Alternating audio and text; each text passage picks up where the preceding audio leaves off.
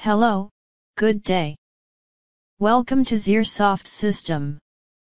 This video is going to teach you how to generate the Purchase Analysis Supplier by Product Report in Inventory module under Reports and Analysis.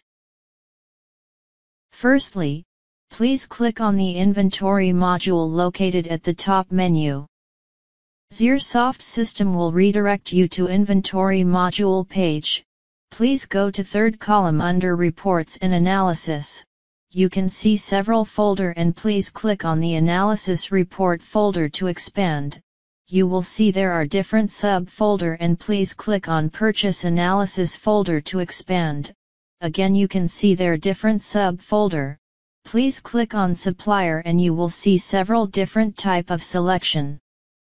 Now, please click on the By Product link, and access to the Print Purchase Analysis Supplier by Product option or selection page. Now in the option or selection page, please specify the date from to Product code Supplier code An area code of your preference if any. Next please scroll down and proceed to click the Submit button to generate the report.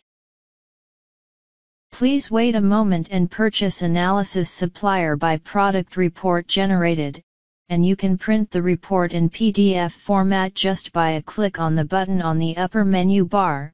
Please wait a moment for PDF format generated.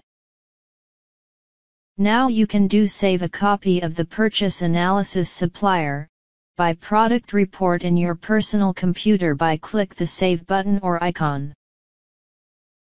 In the Purchase Analysis Supplier by Product Report you will be able to view the Purchase Analysis Supplier includes quantity, bill amount, total amount of purchase, supplier's code that by different product in summary. Next, you can generate the purchase analysis supplier by product in Excel format as well. Go to the Print Purchase Analysis Supplier by Product option or selection page. Scroll down and you can see more details option and just click on it to expand it. Then you see a checkbox named Result in Excel. Click on it and ticked. Then proceed to click the Submit button to generate the report. Please wait a moment and XeerSoft system will prompt out a dialog box at the bottom.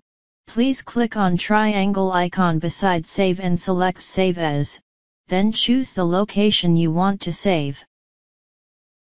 What you have learned in this video is generate the purchase analysis supplier by product report based on your criteria selection in PDF or Excel format. That is end of the video lesson. Thank you.